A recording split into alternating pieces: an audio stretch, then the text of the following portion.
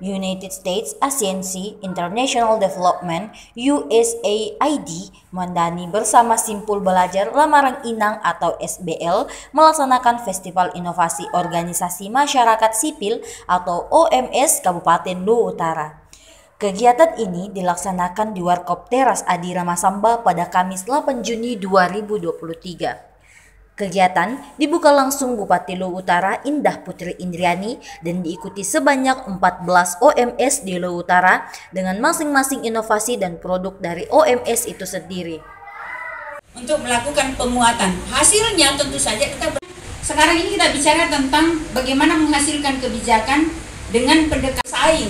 Saya tidak berkompetisi dengan OMS. Ketika pertama kali ditanya, eh Ibu Indah kalau lihat OMS seperti apa sih? Tanya pertama kali ketika kegiatan program ini mau digagas.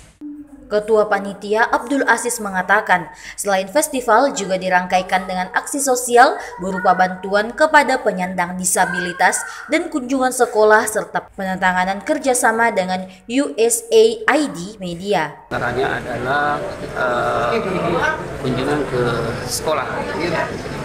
Itu berupa uh, apa lagi namanya?